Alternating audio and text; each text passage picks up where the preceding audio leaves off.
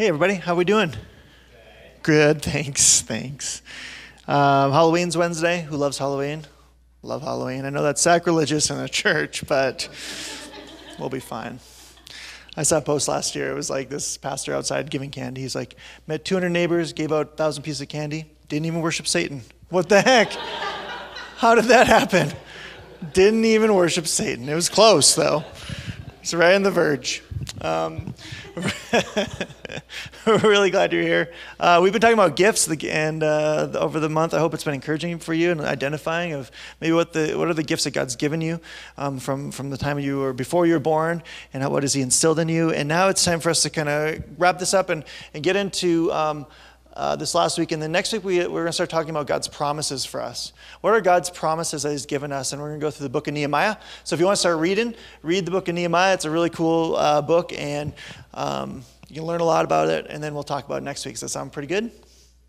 It does, doesn't it? Okay. I'm going to pray. Lord, thank you for being here.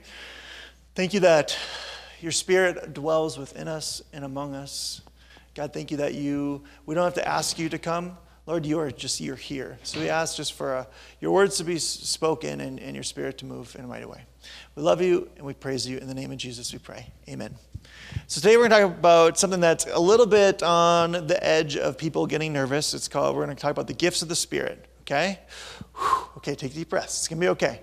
So, um, I think, uh, so we've talked about the gifts from the Father or creation gifts, right? Those are like the, the, the administration and leadership and serving and giving and exhortation and hospitality. These gifts that are instilled in you and they're how you show God's love in a powerful way. Okay? Then last week we talked about uh, the gifts of Christ or the fivefold ministry the apostle, the prophet, the evangelist, the teacher, and the pastor. Yeah, that sounds right. And uh, those are the ministry of Christ, right? So that's how we minister to the world. The ministering to the world is just to serve the world. And then today we're going to talk about the gifts of the Spirit. These are the gifts given us by the Holy Spirit to be able to be the life and love of Christ to everyone around us. So it's kind of a building uh, set of gifts that we're talking about today. We're talking about the gifts of the Spirit. So yesterday, I, I, you know, I got a bike. My wife bought me a bike. She wins the world, and so I got all the gear. I'm like, I got gloves. I got like a cool neck thing, and I was like, I'm a biker, right? So then we go out to Soapstone, and it is like blowing 50 or 60 miles an hour, like literally falling over. And when you were going downhill, um, you're like slowing down when you're going downhill. It was so windy, and I was like, I'm not a biker. I can't do this. This is terrible. I am. I got the look, right? I can even say all the things, but I'm not a biker yet, right? And after eight miles and nearly dying, we made it back. But when we're out there and we're standing in the prairie, and it's almost Wyoming, you know how Wyoming blows? Like the wind blows? the wind. The wind. Specifically, the wind. And, uh, and the wind is just blowing me like crazy. And I remember thinking uh, when the Holy Spirit came at Pentecost, he came in like a mighty rushing wind. And when the Spirit comes and, and, and dwells in, inside of us, it, it, was, it was always pictured as a wind. The, the word is pneuma, the breath of God or the wind of God. And I remember being like, whoa, there's a lot of pneuma out here today. Okay? So we were talking about the Spirit, how the Spirit moves and works inside of us, and, and what, is, what the gifts of the Spirit are. So if you've taken the, the gift test assessment thingy, then you'll see a mix of probably uh, creation gifts, a mix of ministry gifts, and then you'll probably have some Holy Spirit gifts that are like, what are these things? And so we're going to clarify that. So let's read it in 1 Corinthians 12. If you have a YouVersion app, it's on there. Also, it'll be on the screen. If you have a Bible that's made of paper, I mean, good luck. Okay? So there are different times, there are different kinds of gifts, but the same Spirit distributes them. So, key thing about the Spirit uh, when I grew up, I grew up and we used to say Holy Ghost. Anyone ever say Holy Ghost? Right? And I was like, is the Holy Ghost scary? You know, is it scary? What? It, and I think I, I, remember I had this friend one time was like, I get Jesus, I get God, but this he, she called it spooky. the spooky thing. I'm like, no, it's not spooky. Sadly, I think we have like kind of mysticized and spooktified. That's not a word. The Spirit into being this thing that's like, oh, it's mysterious. This Holy Spirit is just the person of Jesus that gets to live and be with, with us forever. You know, when we're little kids and we say, I just asked Jesus into my heart, you know, I asked Jesus in my heart, where does he live? Ella always says, my heart beep, which is the cutest thing ever. And that will usher in the second coming. Um, but no, the, the Spirit comes and dwells inside of us. When we get saved, the Holy Spirit comes and dwells inside of us. So if you've asked Christ as Savior, as Lord, if you believe, if you've taken that step to accept, however you want to define that, the Holy Spirit comes and is deposited into you as the guarantee of salvation, right? So the Spirit has, has come to us to give us gifts, to give us the ministry of Christ. So when we read these gifts, you're gonna, if you, and if you know the works of Christ, you're gonna hear in these in these gifts the ministry of Jesus. This is what Jesus did, right? That's why when Jesus was gonna die, he's like, guys, it is better that I go, and we're like, nope. He's like, it is better that I go so that the Holy Spirit can come. He can lead you to all truth. He can help you to understand what's right and what's wrong, and He can help portray my love to all people everywhere. So that's where the Holy Spirit comes. So the Holy Spirit came and he said, and he gave different kinds of gifts, but the same Spirit distributes them. So the Spirit distributes gifts to us. There are different kinds of service, but the same Lord. There are different kinds of workings, but in all of them and in every one, it is the same work of God. Okay, so there's some belief here when it comes to the gifts of the Spirit that they're kind of only for a couple people right? Or therefore, this expression that's supposed to kind of be a hoopla and a crazy wild thing that, exp- that you experience. But the text is saying that the Spirit is going to give these gifts to each one of us as it's needed, right? Each person who has the Spirit in him has access to all these gifts. So now it says, now to each one is a manifestation of the Spirit. So that's a big word. Okay? The manifestation of the Spirit is just the, seeing the ministry of Christ come about right? It's like, it's like we believe that God is everywhere, but we want to experience Him. We want a manifestation of who He is and what He does, His love, His peace, His grace. You know, we cry, oh my gosh, He's here, you know, that type of thing. We want to feel and experience Him. Same thing with this. Now there's a manifestation of the Spirit. So when, when these gifts are active in your life, which many of the times they are, and you might not even be able to be like, oh, I'm functioning in the Spirit right now, right? If you say that, you're weird, don't say it, okay?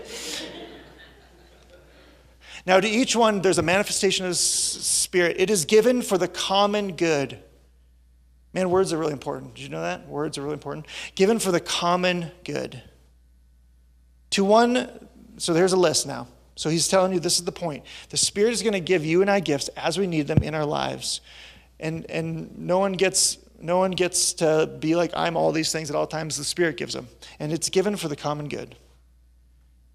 To one there is given the Spirit, which is the message of wisdom. To another, the message of knowledge by the means of the same Spirit. To another, faith by the same Spirit. To another, gifts of healing by the same Spirit. To another, miraculous powers, like Spider Man, right? By the same Spirit. And to another, prophecy. We've talked about prophecy. And to an, another, the distinguishing between spirits, or right and wrong, evil and good and to another the speaking in different kinds of tongues, and to another the interpretation of those tongues. All these are the work of one and the same Spirit, and He dis- distributes them to each one as He determines. Okay, this is really important. Okay? The last sentence is the key to everything as He determines. Okay, what I've experienced in my life in the gifts of the Spirit is the gifts of the Spirit were something that you experience in a service right? And the more loud and the more wild and the more weird, honestly, it was, the more spirit it was. Anyone ever experienced that? Like the louder and the wilder, oh, look at the spirit. Like, spirit seems out of control. This is weird. I don't know what's going on, right? Nothing, in no way is this meant to be these gifts meant to be done just in a service. These are the, the gifts that are meant to be portrayed out in the world to show people who the love of Christ is, right? These are the empowerment gifts. They're the things that are like, I don't know much about the Bible, I don't know how to tell people about Jesus, but these are the this is the power of God for the people you come into contact with. And people have distorted these gifts, they've mistreated them, they've made them a spectacle. And sometimes I've, I've heard people say things that are like, man, I'd rather have people be in the spirit than be saved. And I'm like, you don't understand the gospel. The goal of these gifts words of wisdom, words of knowledge, faith, healing, miracles, prophecies, discernment, tongues, and interpretation are so that we can show people who Christ really is, because this is the way Christ acted. This is what Christ experienced. I call these, in some ways, the situational gifts, right? It's that, have you ever been in a situation, you're talking to someone, you're like, oh my gosh, I don't know what to say right now, I don't know what to do. And all of a sudden, you get this like little bing of wisdom? It's the Spirit. It's a word of wisdom. It's extra wisdom than you didn't have that God has given to you. You ever have in a situation you're like, oh, this is really bad, but all of a sudden you're like, I have faith. It's going to be okay. God is with me. It's going to, we're going to, we're to get through this. It's going to be awesome. Where'd that come from? That's not me. It's a gift of the Spirit.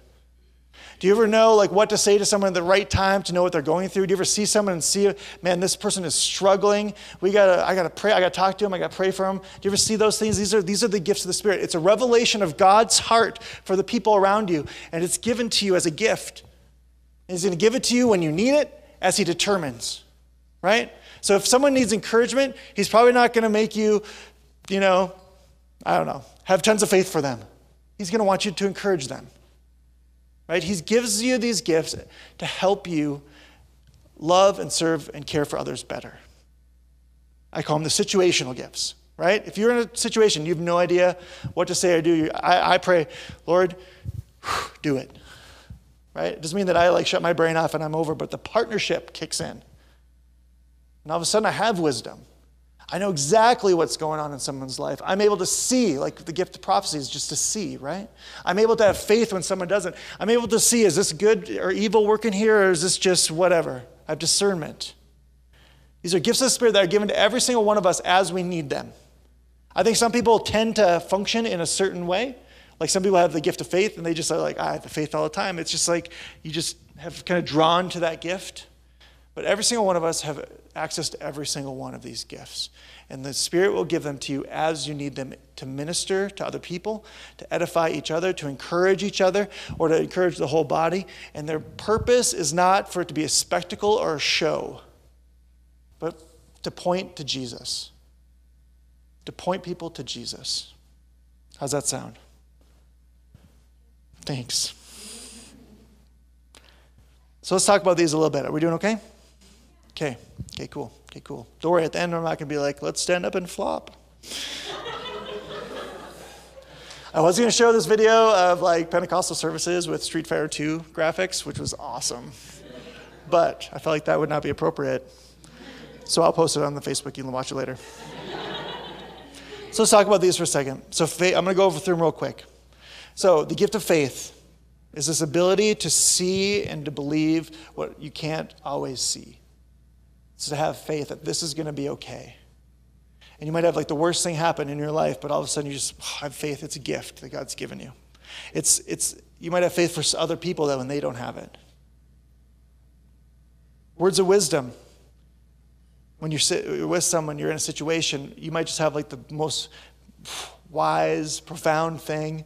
People have said that to me, like, wow, how'd you know that you're so wise? I'm like, totally not me right? I mean, partnership, but yeah, that one was from the Lord, straight up. That was pretty good, right? You might have the, ever have the right thing to say to someone, perfect thing, the right thing that just encourages them, that gives them direction, it helps them just be spurred on towards what's good. It's a word of wisdom. Sometimes it can be very formal, like I feel like God's saying this for you. A lot of times I think the spirit, this, this gift just functions through our talking to each other and conversations. And actually, the less spiritualized these are, sometimes the better.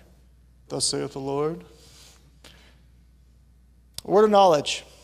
Word of knowledge is more, is more specific, I think. I think it's more like, hey, I really feel like you're going through this thing, and God wants to say this thing for you. It's a little scarier, right? You, you, or you can see somebody like feel like they're discouraged, or feel like they, they have been struggling with this thing, and you're able to speak into that and have a word of knowledge, something that you shouldn't know, but you do know, right? Not to exploit them or to embarrass them, but to understand and love and serve them words of knowledge. Then there's prophecy. Prophecy, like we talked last week, is, is the being able to see. Like I, I don't know what's going on, but God has given you the gift to see, to know this is what His plan is, this is where He's going, this is what He wants you to be, and who he, what He wants you to do. Then there, and, and these can all be kind of weird. There's many times in your life, you have times in your life when you're in, you see a person, you're like, oh, I really feel like I should tell this person this thing. You ever feel that? It's the Spirit knocking on that old heart of yours, knocking on the heart, encouraging you, Next would be gifts like miracles. These are un, you can't explain them, right? These are things you like, you know, like I remember there's been miracles in our lives with our finances, like, hey, we don't have any money. And then all of a sudden a check comes in the mail, like, where'd this come from? I don't know. Exactly what we needed, right? Miracles aren't always finding the front parking spot, you know? But they, they're things that you can't explain. Like, and, and, you, and people always do it. Like, oh, but that could have been just this, that, and the other thing. It's like, no, no, no, no. God still works miracles. Then there's gifts of healing. You're praying for someone and they're healed, either spiritually or mentally, or physically. One time I was struggling. I played, had this job where I typed all day and listened to music, and it was awesome because no one talked to me. It was, it was awesome for like six months, and I was like, I'm going crazy, you know. And my wrists were really hurting me. And I was a guitar player, and this, and I was like, man, my wrist's been bugging me. I like couldn't move my wrist very well. And this friend, she's like, hey, I'll pray for you. She came, prayed for me. I felt like literally almost like a click in my wrist, and I've never had pain since. Right? Never since ever. I was like, and it was not very spiritual. It wasn't like, come up in the front and let's tell us, brother, what is your just, you know. It was just like, we are normal people who love Jesus, and in a moment where I was suffering, she stopped and prayed for me, and that acti- activated the gift of the Spirit, and I was healed, my wrist. We had a friend when we prayed for 72 hours of prayer, one of Lynette's friends, who she was diagnosed with cancer, and we had all campuses praying, and then they went and tested her afterwards, and she had no cancer. Well, that could just be the doctors, they miss something. I know some doctors, they're really smart. Gifts of healing. You can't, you can't even, and sometimes God uses doctors to heal too, right? Amen? There we go. Next would be discernment. This is the ability to read someone, read a situation. Is this good? Is this evil? Is this bad? Is this good? Right? Uh, if you have someone with this gift, or if you function in this gift more naturally, or if you ask for this gift, uh, listen to these people. You know, I've had people be like, hey, you keep an eye out for that guy. And I'm like, just being a jerk, right? And then like three months later, it's like, oh yeah, that was really good. Thanks, you know? If you have, if you have discernment, you're going to feel like you're being judgmental. But in so many ways, you're just seeing what you need to see. Next one, and this is the scariest one, is tongues. Oh my gosh, now it's getting tense in here. Tongues, all tongues is, is a different language that you get, that you, that you have. I had a friend, and she got saved, she got filled with the Spirit, and the Lord gave her the English language. She was Ukrainian, and God just like in like, just boom, had the English. She knew English, right? And then throughout the next, since 1997, she's been like traveling all over the Ukraine and Eastern Europe, just sharing the love of Jesus with people that come from America and her, and it's this incredible thing. Okay? Also, the gift of tongues is, can be a spiritual language, a spiritual prayer language that people can use to pray. It's not supposed to be this kind of like spectacle of experience. It's supposed to be a personal thing that I use to edify me. It's bypassing my brain and all the mess that I bring to the table, and it's just my spirit and God's spirit working together. It's a pretty cool thing. We'll talk about that in detail another time. And then interpretation of that tongue. If it, there is a public expression of that, it should be interpreted like a prophecy, right? Or like a word of knowledge or something that, that makes sense. It's like someone, I've had people stand up and speak in a different language, and I said, that's weird. And then another person came up and said, hey, this is what I feel like it says it's supposed to be. And then it was like really cool. I'm like, all right, that's cool. I'm into that. Right?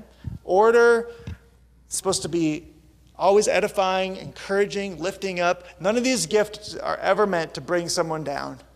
None of these gifts are ever meant to point someone out. Not, none of these gifts are ever meant to be like, you come up, let's talk about how sinful you are. right? And sadly, in American Pentecostalism, these gifts have been twisted and distorted, and we've judged the move of God based on the amount of gifts that are expressed. Right? And the move of God is not found in the gifts, it's found in the fruit of the Spirit, right? It's found in love. Is there more love today? Yeah. Is there more joy? Is there more peace? Is there more patience? That's the move of God, right?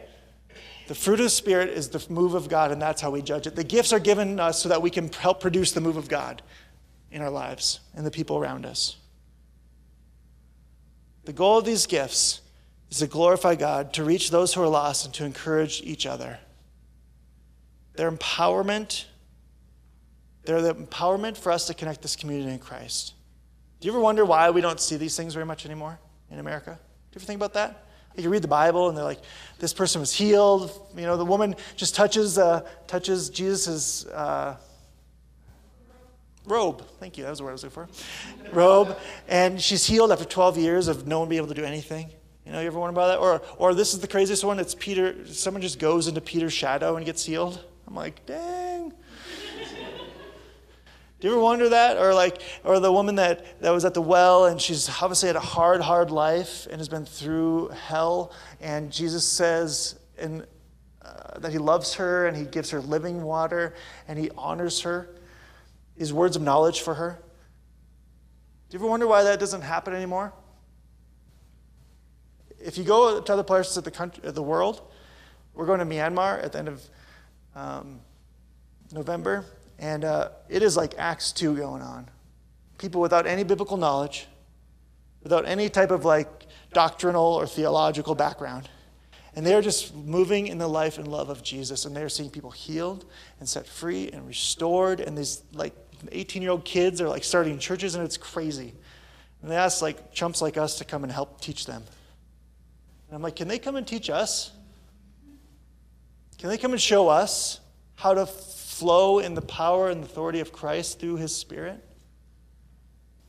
The thing that we will not be able to do in this world to reach people for Christ is to out entertain them. We will never be able to out entertain anything else. Have you been to the mountains? Way nice. Have you been to a movie? Oh my gosh, look at the CGI, right? you've been downtown or been to a concert, the production value, I mean, we'll never be able to out um, entertain or out um, whatever. But we will be able to show people the love and power of Christ through the gifts of the Spirit. That is a missing part, I think, in what God wants to do in our church in a not strange way. Right? Because I think people have gotten that, but then they've gotten so caught up in the gifts that they're like, oh my gosh, how's church? Oh, Oh, I was on the floor for 20 minutes. Good. What are you doing outside of the building? How is the Spirit of God moving and working your life in the people you work with, in your family? How are you getting words of knowledge and prophecy and praying for healing out there where Jesus commissioned us to go? As you are going, go and make disciples, and we're made disciples through his love and through his power. So we can have a good old time. But if it's not happening out there, it's not the Spirit. That's not going to preach very well. So let's read this message. Oh gosh, we got to hurry. Okay.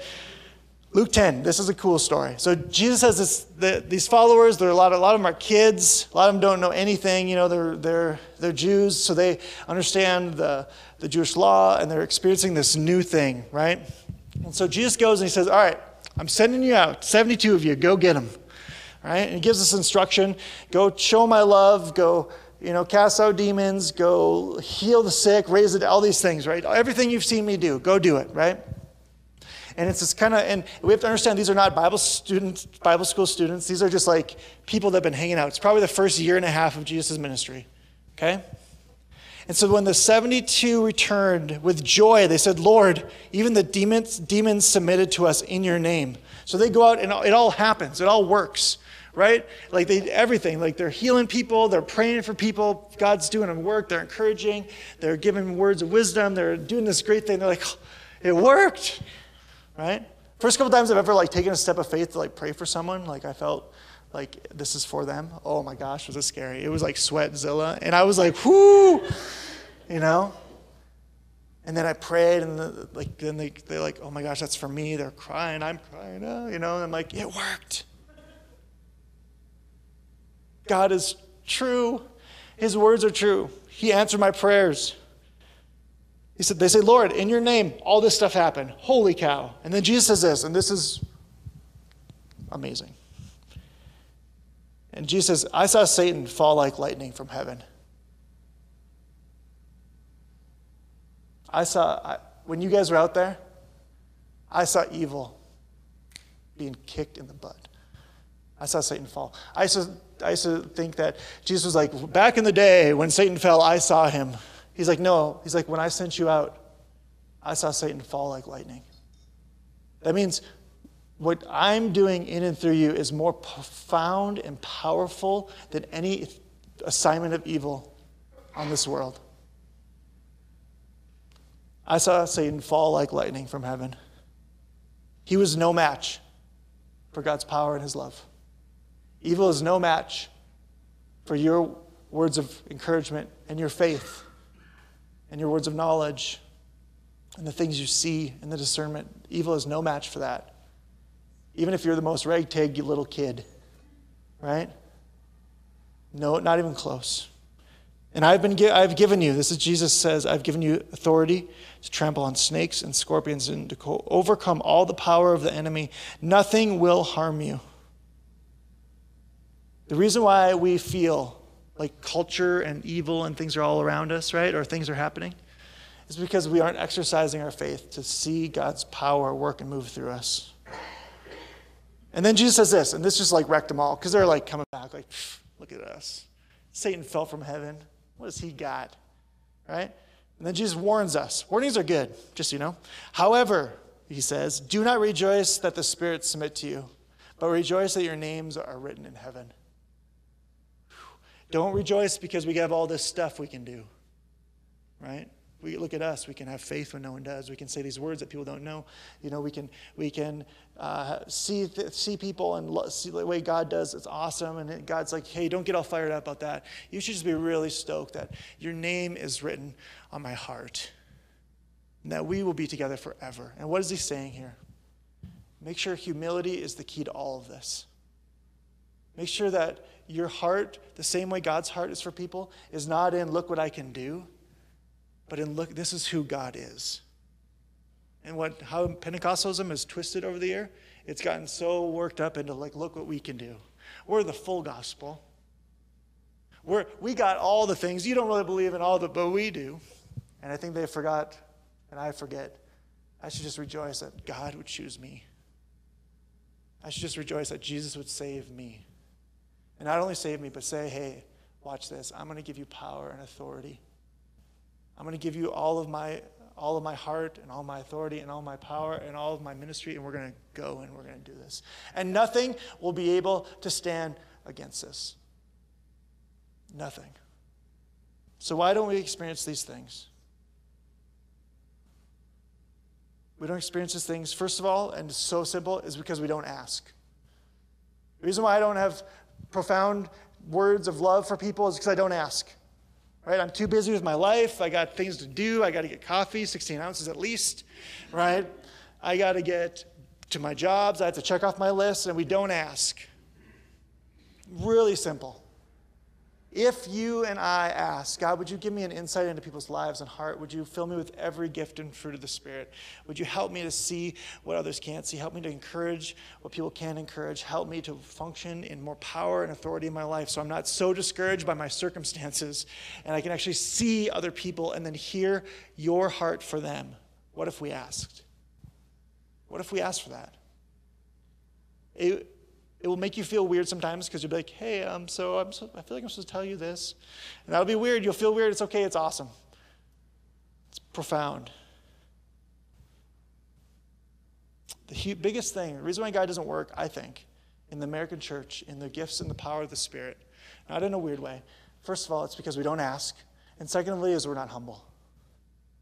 That we pursue the gifts like they're like, I made it to the right hand of God because I did this gift which was the attitude at that time. If I do all this stuff, Lord, can I sit at your right hand? And Jesus like, uh, yeah, by the way, to be the top, you got to be the bottom. The reason why, especially in America, we don't experience this stuff, because we either get so woo or we're so afraid of it. And God's just asking us, what if you humbly just asked? Not that I would have this, this experience only, but I would see the power of your love and your spirit work through my life and you don't have to have any biblical knowledge. Any. Or you're going to have like way more than the disciples did. They just walked with Jesus. You guys want to come up? So I'm going to close because I talk too much, but um, I wanted to pray for us. Is that if that's okay? I'm really passionate about this because I've seen this either be like, there's no Holy Spirit, nothing, nothing, don't talk about it, it's scary. Ah, so we don't talk about it or deal with it. Or I've seen it be like out of control. And I've been, I've sat there shocked and wondering, is this really what God wants us to do? And so, what I believe is there's a place in the middle.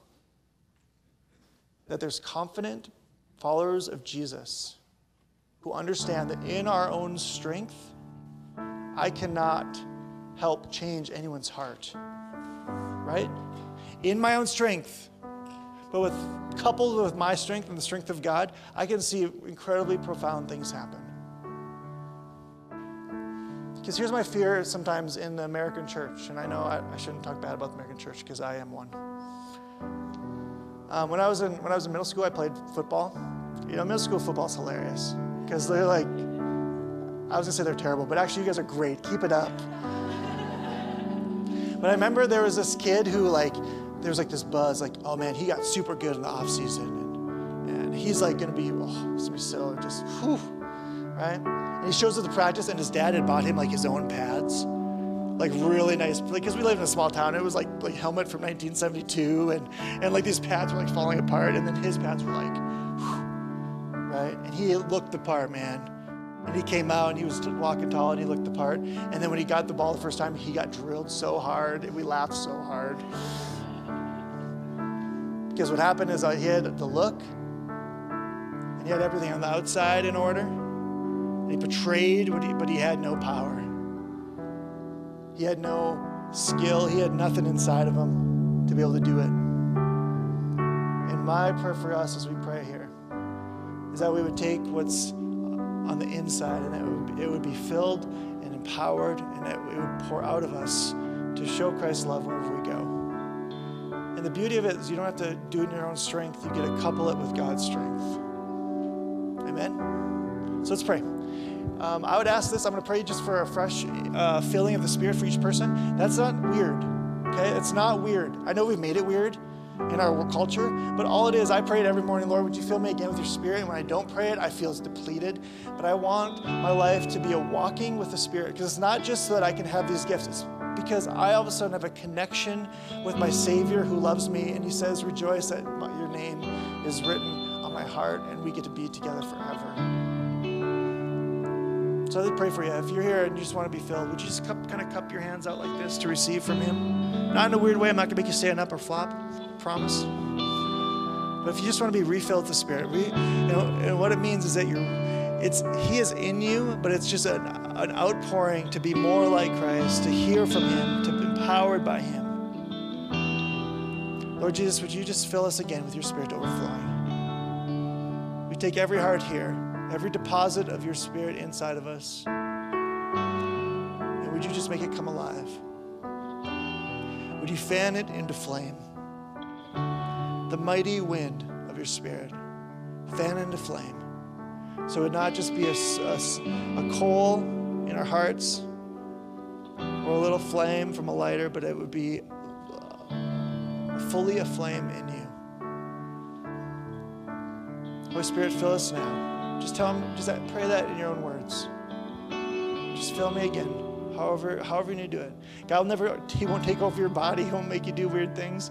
He just wants to be fully empowered in your life so that you can function and flow in these gifts. And when you couple those with the rest of the gifts that you have, there is power.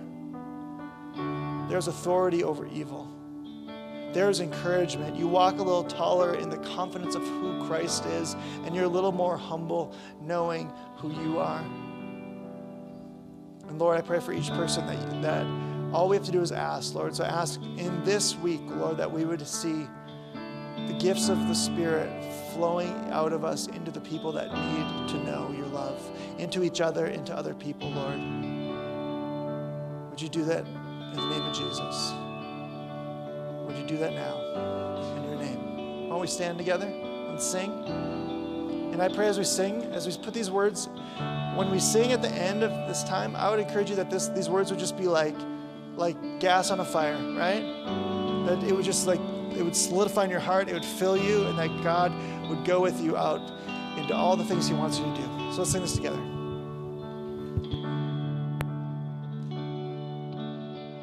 Let us become more aware.